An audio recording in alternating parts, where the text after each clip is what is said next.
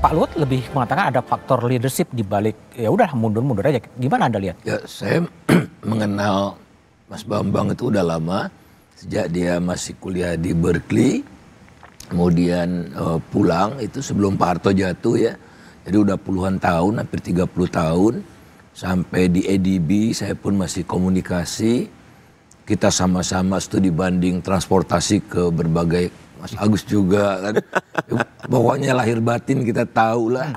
Itu profesionalisme, ilmunya tinggi. Jadi beda dengan berani gerasa gerusu. Hmm. Itu harus mengikuti aturan, mengikuti hukum. Itu standarnya. Kalau nggak salah istrinya pun ahli hukum, gitu kan. Jadi pakem nggak mau. Kalau keluar pakem nggak mau gitu. Oh, waktu kita apa dengan Mas Agus juga di Meksiko dan di Bogota itu uh, kita diwawancarai, saya masih ingat tuh, oh, uh, oh, jangan kayak Faisal kata istrinya, anda uh, uh, orang pemerintah jangan keras-keras kayak Faisal gitu. Jadi hmm. ada ada ada value yang di itu. Nah kalau menurut saya udah udah udah terlampaui itu. Terabas aja misalnya nih apa uh, tanah nggak selesai terabas aja. No, No. Value-nya beda. Jadi memang ada beda value kira-kira yang membuat dia nggak tahan dan kemudian mundur aja gitu. Uh, kalau menurut saya begitu. Uh, kalau wakilnya saya nggak tahu, tapi kan profesional juga. Ya. Dia bukan owner kan, dia hmm. profesional.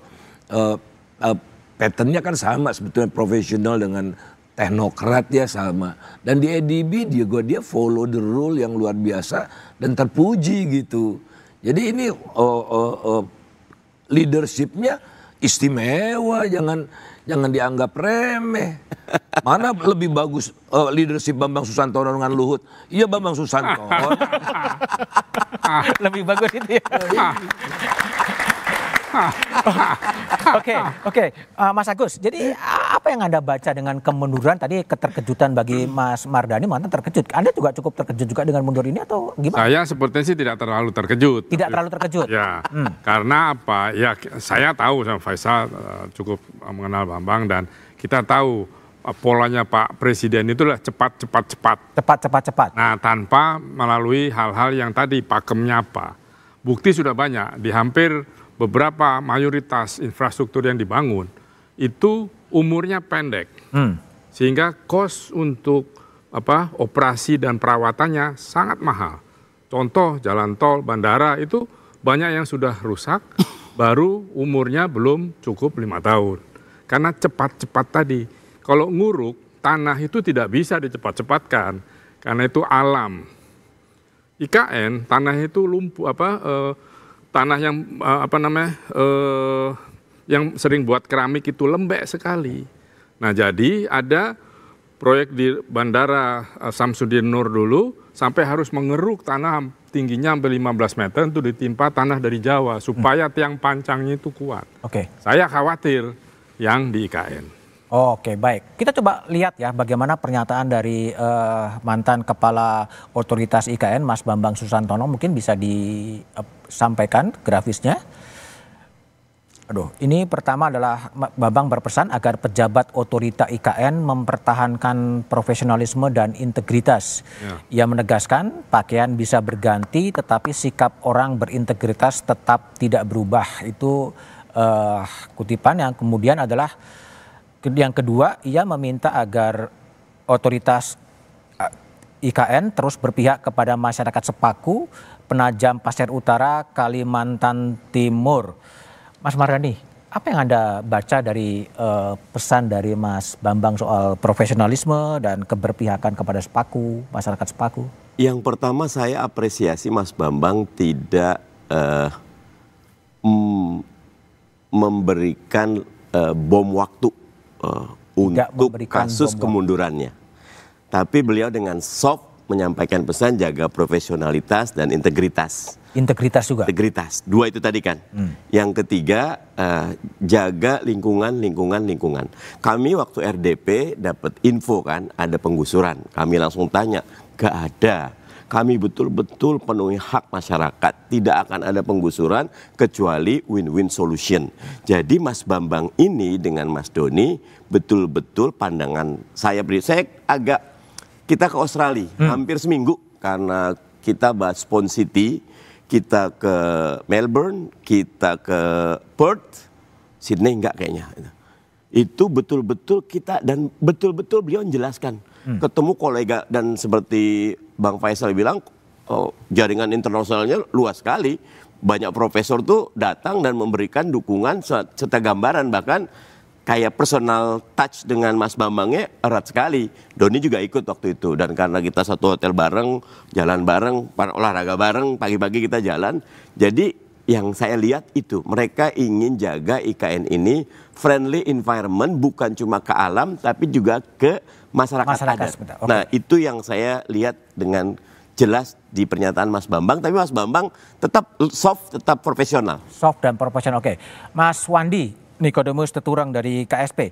Uh, eh, gimana Wandi melihat uh, pernyataan dari Mas Bambang agar tetap menjaga profesionalitas, menjaga integritas? Apakah ini juga pesan dari mantan kepala otorita kepada pemerintah dan penggantinya untuk tetap menjaga itu?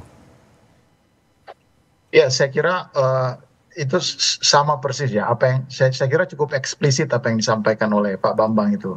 Dan kita sama sama-sama tahu beliau orang yang sangat profesional, juga sangat memiliki integritas. Oleh karena itu, uh, oleh karena itu pemerintah kan memang juga mengharapkan keterlibatan beliau, hmm. keda, uh, meskipun tidak lagi berperan secara manajerial ya, uh, mengelola langsung, uh, cukup kompleks kan, karena harus me, arus lintas kementerian kan di undang-undang IKN sendiri kan memang mem membolehkan uh, uh, apa namanya pembangunan infrastruktur misalnya oleh PUPR hmm. dan kementerian teknis yang lain sampai kemudian uh, otorita IKN bisa benar-benar uh, secara uh, perlahan-lahan bisa mengambil alih semuanya. Saya kira itu ada sudah ada dasar hukumnya dalam undang-undang. Jadi kalau soal itu saya kira apa yang disampaikan memang benar oleh Pak Bambang dan saya kira memang tidak ada masalah dengan integritasnya, tidak ada masalah dengan value-nya. Uh, cuman kan mungkin uh, apa yang apa namanya menjadi apa uh, karena tidak disampaikan ya kemudian menjadi spekulasi ya, spekulasi okay. seperti apa. Tetapi tapi spekulasi itu kan ya kita nggak tahu itu kan kayak utak atik gatuk ya. Kita menghubung-hubungkan connecting the dot ya. Apakah benar seperti itu ya itu yang kita nggak tahu karena kita mau sekali lagi saya akan kembali bahwa kita memang menghormati apa yang uh, keputusan beliau untuk tidak secara uh, terbuka mengatakan alasannya. Kalau Demikian, satu hal lagi yang Mas, dipesankan ya. Wandi soal uh, berpihak kepada masyarakat sepaku penajam pasir utara, pesan ini sebetulnya ya anda membacanya pesan dari Mas Bambang ini apa sebetulnya? Iya, saya kira uh, saya juga sebelumnya kan sudah sempat juga berkomunikasi dengan Mas Bambang dan juga uh, uh, pernah juga ke sana, turun beberapa kali ketemu dengan masyarakat Pasir Balek ya. Dan itu memang menjadi komitmen kita bersama hmm. bahwa masyarakat di sana itu harus menjadi subjek dalam pembangunan itu. Oleh karena itu berbagai macam ini juga kami pantau, kami kan di KSP juga mengawal program prioritas presiden kan.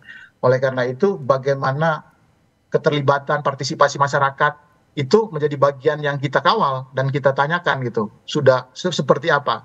Nah, dalam pembangunan kan biasanya seperti halnya pembangunan apa pun ya, proyek apa pun kan selalu apa yang kita uh, rencanakan kadang-kadang sedikit mengalami perubahan-perubahan di dalam implementasi itu di mana-mana. Bangun rumah aja saya kira seperti itu. Okay. Tetapi prinsip-prinsip keterlibatan masyarakat, bagaimana masyarakat di sana, masyarakat Pasir Balek khususnya, itu bisa menjadi subjek, itu adalah komitmen kita.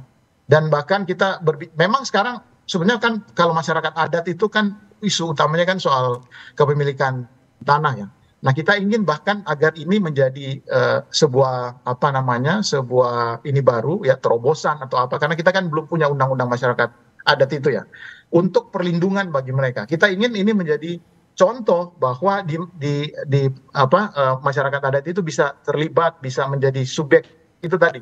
Nah, ini yang kita dorong sama-sama dan kita cari ininya apa namanya uh, celah hukumnya, perlindungannya seperti apa. Itu yang merupakan komitmen dan saya setuju dengan Pak Bambang untuk menyatakan hal demikian. Oke, baik Wandi. Bang Faisal, kalau kembali tadi cukup dekat dengan Mas Bambang yang pesan yang disampaikan adalah jaga profesionalitas, jaga integritas. Kira-kira beliau mau menyampaikan pesan apa kalau menurut Bung Faisal tafsirkan? Mas Bambang itu berilmu, filosofinya juga dapat gitu. Membangun kota itu membangun peradaban. Hmm. Jadi city, civility, civilization. Jadi sebetulnya membangun peradaban. Nah katanya mau bangun peradaban dengan cara tidak beradab.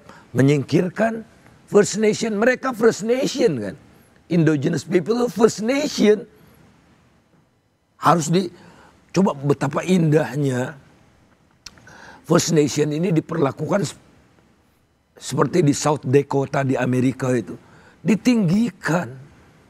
Nah, oleh karena itu it takes time dialog, tidak bisa kan begitu saja. Oh. Nah, Pak Jokowi kelihatannya ingin cepat. Ingin cepat seperti rempang, libas aja semua. Oke. Okay. Ah itu sorry deh gitu. Oh, di itu rempang, pada kan? Iya, ya Riau. Gak mau Mas Bambang model rempang itu. First Nation, warga pertama di sana harus didahulukan, didahulukan. Oke, baik. Kemudian, kemudian setelah kemudian Mas Bambang dan Doni kemudian mundur, kira-kira bagaimana kemudian kelanjutan dan investasi di IKN? Jawabannya setelah jeda berikut ini.